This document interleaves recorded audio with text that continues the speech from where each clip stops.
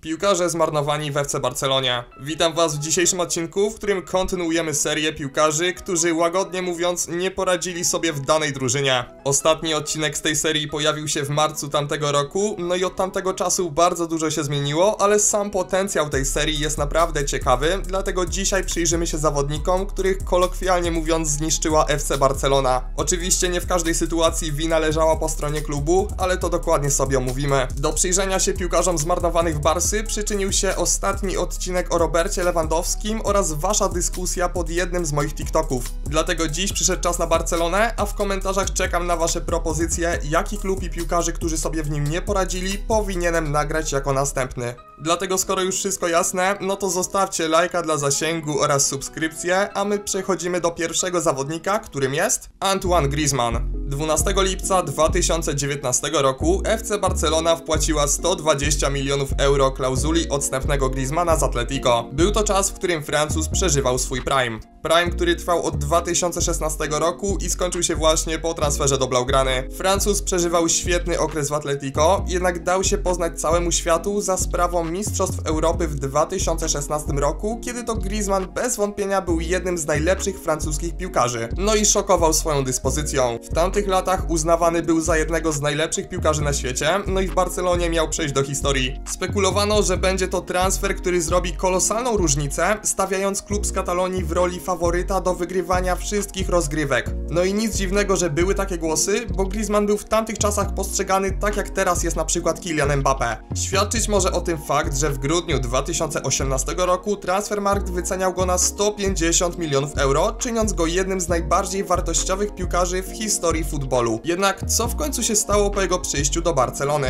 Samo kupno Griezmana przez niektórych dziennikarzy sportowych oraz kibiców było dyskusyjne, bo z jego charakterystyką po prostu gryzł się styl gry Leo Messiego. Nie pasował też za bardzo do taktyki całego zespołu, no i trzeba wyraźnie podkreślić, że mimo całkiem przyzwoitych statystyk w drugim sezonie, to po prostu się w tej Barcelonie nie sprawdził. Grał na jakieś 40% swoich umiejętności, no i nie mógł w pełni rozwinąć swojego potencjału. Być może kwota tej transakcji za bardzo mu ciążyła. W Barcelonie spędził dwa sezony, no i po tym czasie FC Barcelona wypożyczyła go z powrotem do Atletico. Latem 2023 roku Atleti ostatecznie odkupiło Griezmana za zaledwie 20 milionów euro. No i aktualnie Francuz przeżywa swój drugi prime i pokazuje, że Atletico to jest po prostu jego miejsce, w którym czuje się najlepiej i może grać na tym najwyższym poziomie.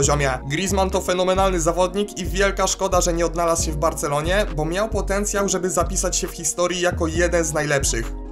Memphis Depay. Holenderski zawodnik trafił do Barcelony w 2021 roku na zasadzie wolnego transferu. Po wygaśnięciu jego umowy z Olimpikiem Lyon przeszedł za darmo. Jego wartość transferowa w tym okresie była wyceniana na 45 milionów euro. Niestety Depay jest kolejnym piłkarzem w tym zestawieniu, który nie sprawdził się na Camp Nou. Nie był pierwszym wyborem Xaviego, nie błyszczał na boisku, a co najgorsze to miał problem z kontuzjami, co znacznie pogorszyło jego dyspozycję. Nie był to już taki sam piłkarz jak za czasów gry w ligę. Depay w 2019 roku wyceniany był na 60 milionów euro. Wtedy wydawało się, że w końcu Holender będzie mógł wykorzystać w pełni swój ogromny potencjał, ponieważ był wielkim talentem, który nie poradził sobie w Manchesterze United. No zresztą o tym mówiliśmy w poprzednim odcinku, jednak Depay odbudował się w Lyonie, a w Barcelonie znowu nadeszły gorsze czasy. Ale tutaj akurat w grę wchodził duży pech. W barwach dumy Katalonii rozegrał 42 mecze, w których strzelił 14 goli oraz zaliczył dwie asysty. Depay miał również utrudnione zadanie, ponieważ o minuty na boisku musiał rywalizować innymi z Robertem Lewandowskim, który w tamtym czasie strzelał gola za golem i był w bardzo dobrej dyspozycji. To wszystko przełożyło się na transfer do Atletico Madryt. Transfer, który kosztował Atleti jedynie 3 miliony euro. Po odejściu Depaya z Barsy to jego sytuacja znacznie się poprawiła. Widzimy, że Atletico ma jakiś schemat, w którym zabiera Barcelonie piłkarzy, którzy sobie tam nie radzą, by ich odbudować w swojej drużynie, no i trzeba przyznać, że świetnie im to wychodzi. Usman Dembele. 25 sierpnia 2017 roku FC Barcelona wykupiła Francuza z Borussii Dortmund za 135 milionów euro. Do tej kwoty doszły jeszcze bonusy. Była to ogromna suma i bardzo ryzykowny ruch, ponieważ Dembele miał wtedy zaledwie 20 lat. Wykazywał on ogromny potencjał i dominował Bundesligę. Uchodził za ogromny talent, a w Barcelonie miał zastąpić Neymara, który odszedł do PSG. Po czasie można stwierdzić, że przygoda Dembele na Camp Nou nie była udana. Przez pierwsze 5 lat częściej zawodził albo był kontuzjowany. Jednak w tej sytuacji bardzo dużo zmieniło przyjście Xaviego. Xavi uczynił z Dembele podstawowego gracza swej formacji ofensywnej, a ten w pół roku wywalczył tytuł najlepszego asystenta La Ligi w sezonie 2021-2022. Zimą 2022 roku wszystko wskazywało na to, że Dembele odejdzie z Barcelony. Jednak był to czas, w którym Francuz zdawał się w końcu robić to, co zakładano w 2017 roku, kiedy decydowano się na jego transfer. Był kluczowym piłkarzem Blaugrany, no i zdawało się, że jego najgorsze czasy są już za nim. Okazało się, że latem 2023 roku poszedł taką samą drogą, jak zawodnik, którego miał zastąpić, czyli Neymar. Dembele odszedł do PSG i było to dość niespodziewane, ponieważ tak jak mówiłem wcześniej, każdy się spodziewał, że zostanie on w Barcelonie. Jak się okazuje, sam zawodnik również spodziewał się, że będzie kontynuował karierę na Camp Nou. O kulisach tego transferu opowiedział w rozmowie z L'Equipe. Mówiłem sobie, że zostanę w Barcelonie, ale po kontaktach z PSG przekonali mnie, że powinienem odejść. Z trenerem, który we mnie wierzył, spędziłem dwa najlepsze lata. Chciałem natomiast podpisać kontrakt z PSG. To bardziej Paryż skłonił mnie do zmiany zdania, niż po prostu chęć opuszczenia Barcelony. PSG i jego prezes byli mną zainteresowani już od bardzo dawna. Zaczęliśmy się kontaktować już za czasów gry w Borussii Dortmund. W tamtej chwili moim celem była jednak gra w Barcelonie. W nowych barwach Dembele nie radzi sobie zbyt dobrze. Póki co jest rozczarowaniem, natomiast w PSG wierzą, że niedługo karta się odwróci i Dembele w końcu zacznie pokazywać to, co w Barcelonie. Wydaje mi się, że gdyby Francuz został w Barcelonie i dał sobie jeszcze trochę czasu, to nie byłoby go dzisiaj w tej liście.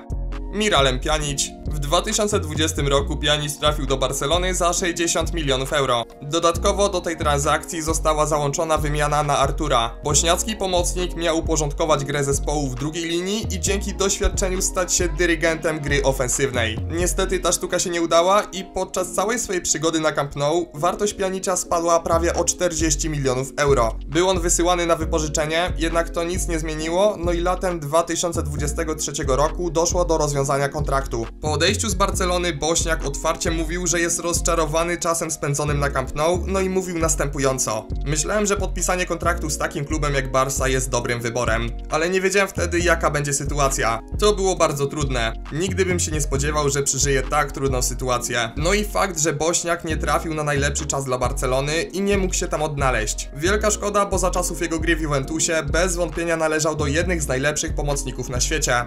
Filipe Coutinho. Coutinho był gwiazdą tego największego formatu. W 2018 roku Brazylijczyk w nie najlepszej atmosferze opuścił Liverpool na rzecz Barcelony, która zapłaciła za niego ponad 140 milionów euro. To była jedna z najdroższych transakcji w historii futbolu. Brazylijczyk nie zaprezentował jednak w pełni swoich możliwości podczas pobytu na Camp Nou, no i dwukrotnie był wypożyczany. Najpierw do Bayernu, a potem do Aston Villa, do której ostatecznie trafił na stałe. Coutinho rozegrał w Barcelonie 106 meczów, strzelił 25 goli i zaliczył 14 asyst. Aktualnie Coutinho reprezentuje barwy katarskiego Al Duhali, a jego wartość transferowa wynosi zaledwie 9 milionów euro. Podobnie jak większość piłkarzy omówionych w dzisiejszym materiale, to Coutinho trafił na bardzo trudne czasy dla Barcelony, gdzie wszystko szło nie po ich myśli. Sam zawodnik również nie prezentował nawet połowy tego, co w czasach Liverpoolu i serio wielka szkoda, że to właśnie tak się potoczyło. Był on zaliczany do jednych z najlepszych piłkarzy na świecie, miał wszystko co potrzeba, żeby zapisać się w historii, ale no transfer do Barcy to nie była jego najlepsza decyzja.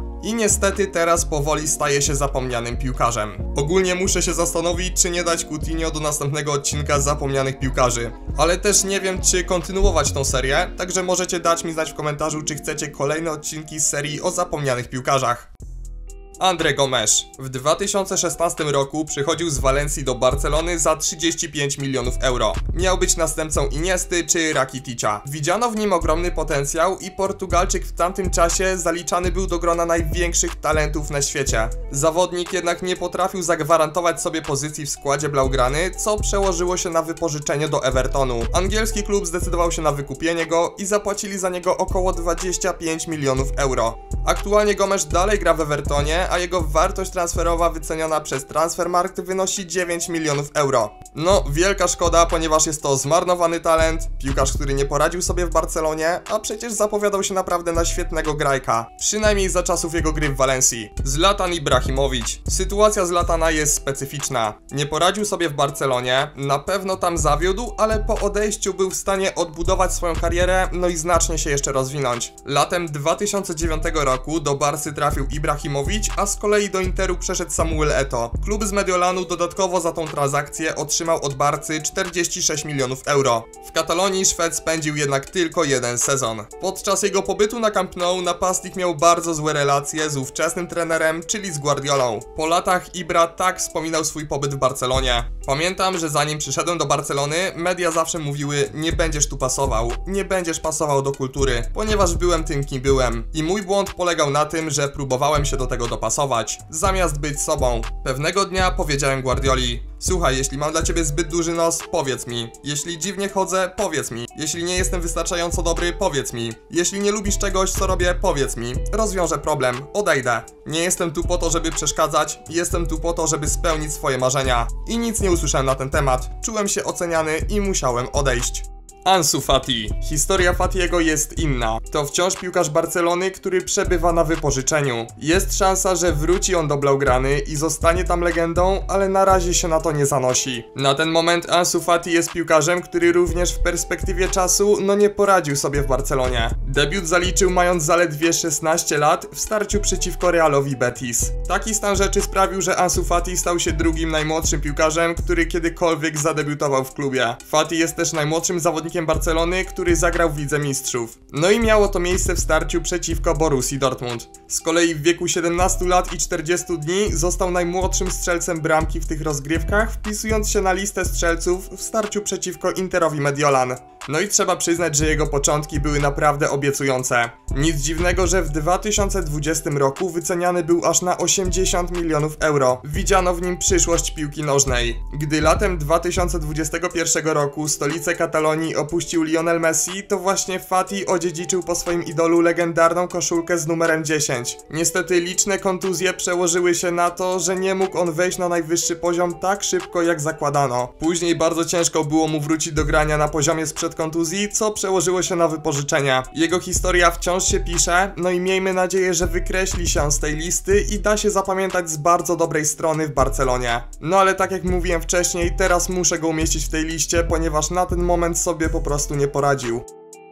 Robert Lewandowski. O sytuacji lewego w Barcelonie bardzo często rozmawialiśmy na kanale Czysta Piłka. Zdania są tu bardzo podzielone, a wszystko co aktualnie w jego sytuacji się dzieje to omówiłem w poprzednim odcinku. Ale skoro jesteśmy przy piłkarzach, którzy nie poradzili sobie w Barcelonie, no to niestety na ten moment muszę tu umieścić Roberta. Mimo tego, że w pierwszym sezonie był królem strzelców, dał im mistrzostwo Hiszpanii, to jednak teraz sytuacja jest o wiele gorsza. To, że Lewandowski zawodzi to jest jedna sprawa, ale to z jaką presją i hejtem musi się teraz zmagać to też jest druga rzecz. W poprzednim odcinku mówiłem, że można odnieść wrażenie, jakoby Lewy miał odpowiadać za wszystkie złe rzeczy, które teraz spotykają Barcelonę. No i odnosiło się to do nagonki prowadzonej przez katalońskie media. Jeżeli jeszcze nie widzieliście tego odcinka, to serdecznie was zapraszam. Tam przez 10 minut przyglądaliśmy się sprawie, powiedziałem znacznie więcej, no i warto na to wszystko spojrzeć z dwóch stron. Ja też na siłę nie chciałem bronić Polaka, bo jego dyspozycja w ostatnim czasie jest daleka od tego, do czego nas przyzwyczaił w przeszłości. Jeżeli nic się nie zmieni, to jego pobyt w Barcelonie będzie można zaliczyć do nieudanych. I właśnie tak jest na ten moment, dlatego postanowiłem umieścić go w tym materiale. Tutaj macie grafikę z piłkarzami, którzy również swojego pobytu na Camp Nou nie mogą zaliczyć do udanych, ale no nie przejrzeliśmy się ich historii, żeby odcinek nie był za długi. W tym momencie również możecie dać mi znać, czy chcielibyście czasem filmiki, które trwają znacznie dłużej, na przykład powyżej 15 minut, czy jest to trochę za długo. W każdym razie czekam na wasze przemyślenia po obejrzeniu w komentarzach. Liczę, że wywiąże się jakaś ciekawa dyskusja, bo jest to dość kontrowersyjny temat. Od razu mam wiadomość dla wszystkich fanów Barsy, że spokojnie, to nie jest personalny atak na klub, a zwykła seria, no i teraz czekam na wasze propozycje piłkarzy zmarnowanych w danym klubie. Piszcie mi nazwę klubu, czy nagrać o zmarnowanych piłkarzach w Chelsea, Realu, czy jakiejkolwiek drużynie. Wielkie dzięki, że oglądałeś do końca. W 2024 roku obiecałem wam jeszcze więcej i częściej dużo dobrego kontentu, dlatego jeżeli chcecie mi pomóc w rozwoju, to bardzo was poproszę o zostawienie lajka dla zasięgu, bo ma to serio duże znaczenie w algorytmie YouTube'a. No i oczywiście o subskrypcję na kanale Czysta Piłka, żeby być na bieżąco z wszystkimi nadchodzącymi materiałami. No to tyle ode mnie na dziś, słyszymy się już bardzo niedługo. Jeszcze raz dzięki za oglądanie do końca, trzymajcie się i na razie.